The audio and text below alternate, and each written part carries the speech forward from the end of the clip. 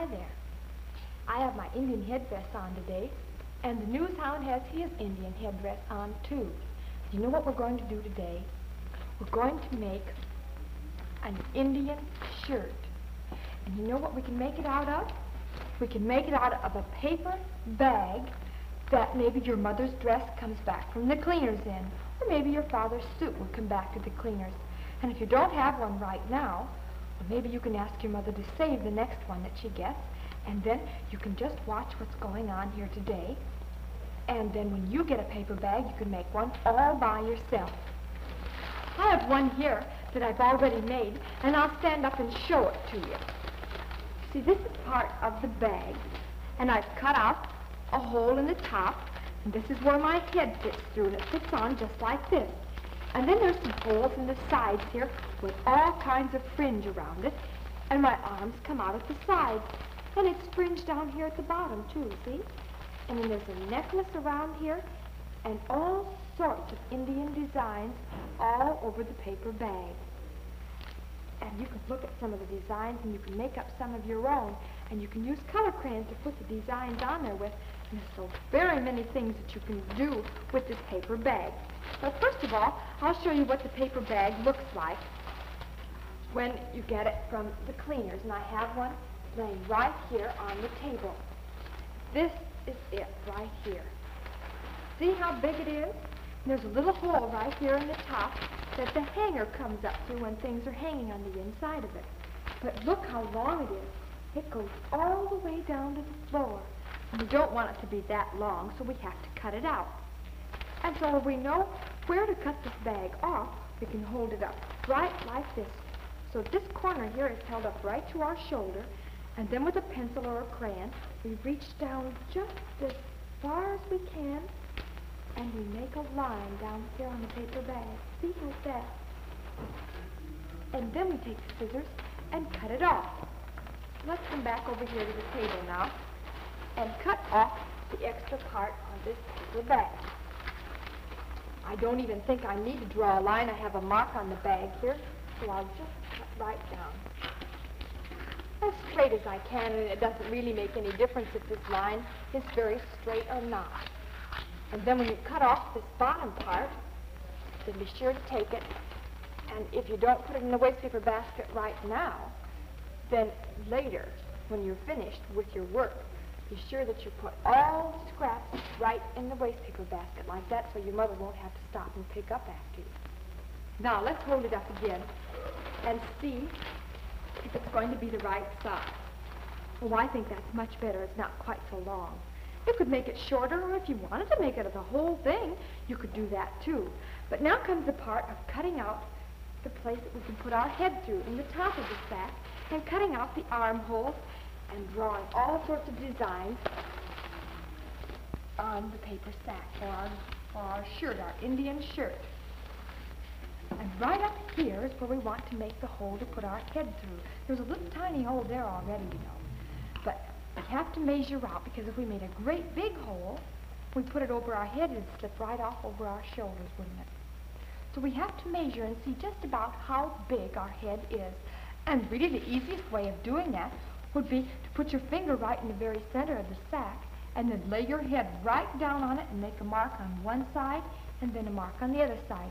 And that's just exactly what I'm going to do right now.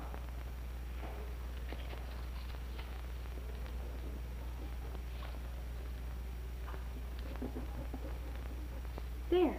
See, put my head down, and I made a line on this side, and I'm going to put it right up here at the top. Just pretend that I'm drawing it all the way up. Make a mark there, then I'm going to make a mark over here.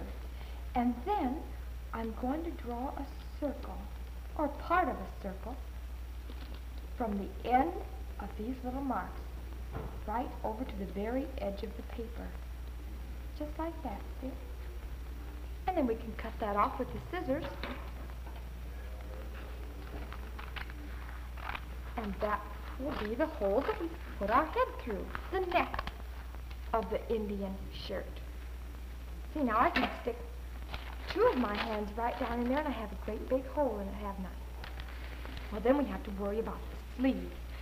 And the sleeves, Well, you know, son, maybe your shirt doesn't have any sleeves in it. It just quits right there.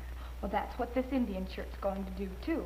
But we want to draw some lines right over here, first on one edge and then on the other, about as long as you think a sleeve should be. And we'll draw it in just like this, and then we'll do exactly the same thing over here on the other side. And then we can snip down the edge of the paper bag till we have this small little piece cut out. Let's do that right now. We'll just cut just a little tiny bit off over here. We don't want to cut too much more because we're going to put some fringe over here. You know what fringe is? Fringe, all the little pieces of paper or the Indians, it would have been pieces of skin that hang down and we can make that fringe just by taking our scissors and cutting a lot of little strips. And we can cut all these strips until it gets down to the end of the line that we drew. See how the fringe is? It just sticks all over. And it cuts right through, but still there's an open space there. And that's where our arm comes out, see? Now then, while we're right over here, there's something else that we want to do too. In order to make it easier for us to get our Indian shirt on and off, we want to take our scissors and slip them right inside the sack like this, and then cut part way down, maybe six little snips down the side. Not all the way to the bottom, but it opens it up just enough so that we can get into it and out of it much easier. Now let's go over to the other side and fringe the other sleeve and make the slit down the side the same way. Just take the scissors and we'll make some cuts in here and put the fringe all along the sleeve too. You know, the Indians didn't make their clothes out of paper bags.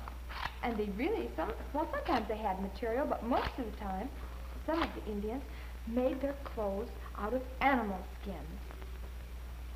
Sometimes they had deer skins and bear skins and even buffalo skins. And they worked the leather and rubbed it until it was very soft. And then they sewed it together with pieces of strong grass and fibers that they found. Now I'm going to snip this down the side here, about six snips, so that it will be easy to get in and out of. There we are. Now we're doing some fringing. Should we fringe the bottom of it too? We do it in exactly the same way. Just pull the paper bag up right around like this and go all the way across the bottom all sorts of fringes. You can just take one snip with your scissors or you can make two or three at a time like this and have great big long fringes on the end. And then later on you might want to take all of your colors and color each piece, each little strip down here, each piece of fringe a different color.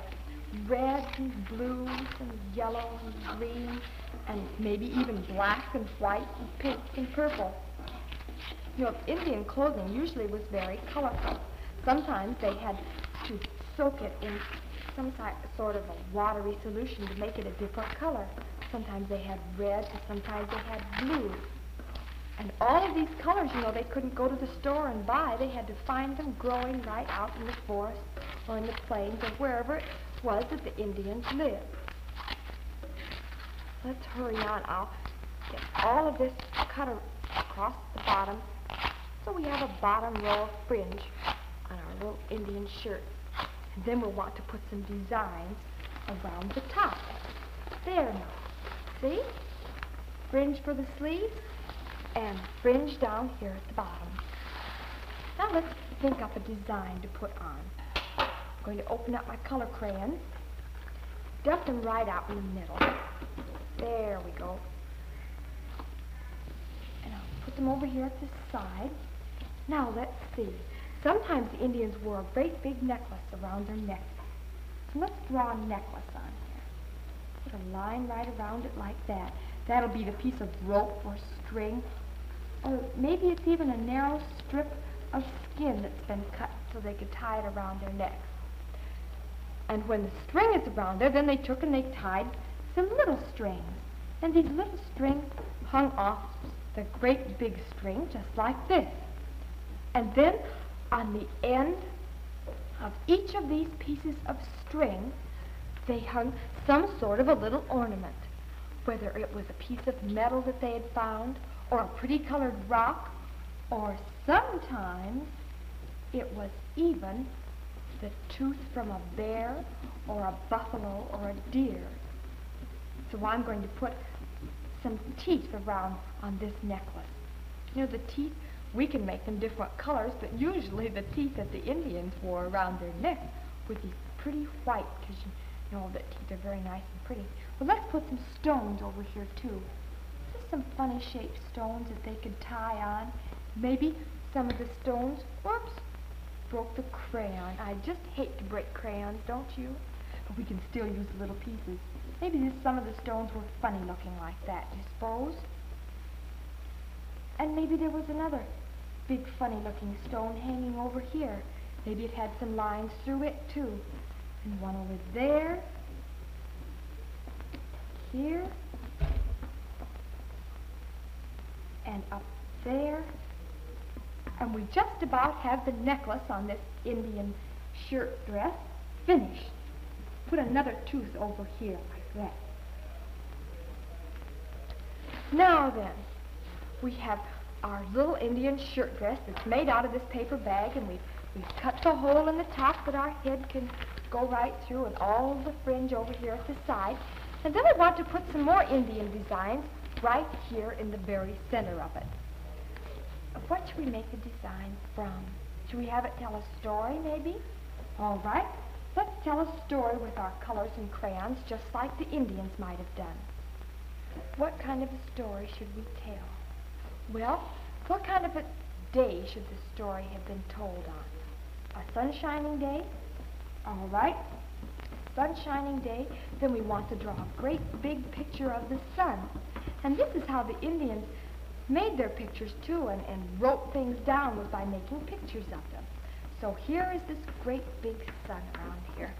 Like that. And then on this very bright day, maybe the person who was writing this story went hunting. And they went up a great big hill. And after they walked up this great big hill, they came to a forest on the other side.